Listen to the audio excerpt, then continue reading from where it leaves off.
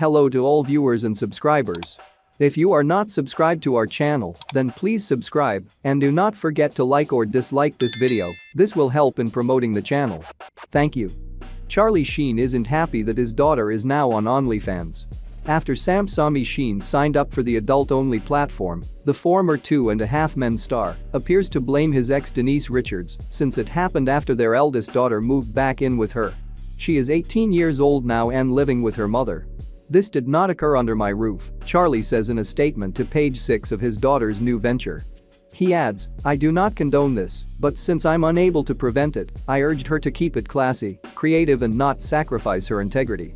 Also reacting to her daughter's decision to join OnlyFans, Denise seemingly claps back at her ex-husband's claim as saying, Sami is 18, and this decision wasn't based on whose house she lives in, she, however, remains supportive of her daughter as stating, all I can do as a parent is guide her and trust her judgment, but she makes her own choices. Sami, who turned 18 years old in March, announced her OnlyFans page via Instagram on Monday, June 13.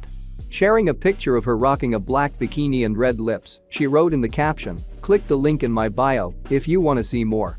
The teenager's bio on the subscription-based social media platform, which is often used to post nude or partially nude photos and videos at a premium price, reads, Hey subscribe to see exclusive content. She also promised to upload new content two to three times a week and encouraged her subscribers to chat with her privately.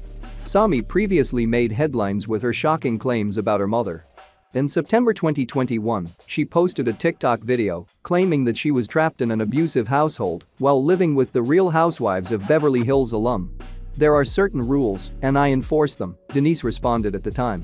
And at Charlie's, there's different rules at that house, and that's okay. Sami, who moved to live with her father at the time, has since moved back in with her mom within the last month, according to a source.